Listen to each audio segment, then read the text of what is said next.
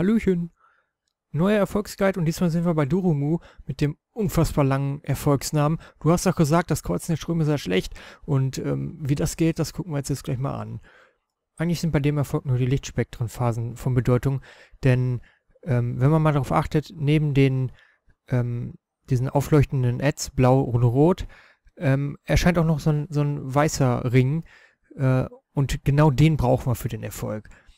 Den mag ihr nämlich am besten, äh, damit alle wissen, wo der ist. Dann müssen alle Spieler, die so einen Strahl abbekommen haben, egal ob gelb, blau oder rot, laufen dahin. Äh, und zwar so, dass quasi alle Strahlen äh, übereinander sind.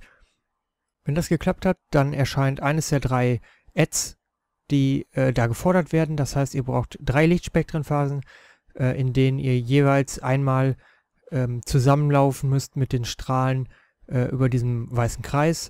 Ähm, da erscheinen zwar random diese äh, Ads, die ihr da braucht, aber ähm, die doppeln sich nicht. Das heißt, wenn ihr jetzt einmal das äh, Grüne hattet, kommt das nicht nochmal, sondern es ist schon gewährleistet, dass ihr nach drei Phasen, wenn ihr das so gemacht habt, wie ich euch das gerade erklärt habe, äh, dann habt ihr alle einmal aufgedeckt. Wundert euch nicht, die sind nicht anvisierbar oder so, die könnt ihr nicht besiegen.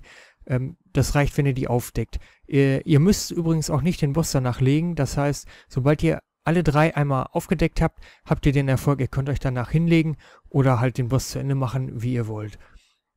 An für sich nicht schwer, ein bisschen Absprache äh, hilft da wahrscheinlich, weil man kann sich ja nicht aussuchen, wer die Strahlen kriegt, das ist ja random, aber das sollte eigentlich hinhauen.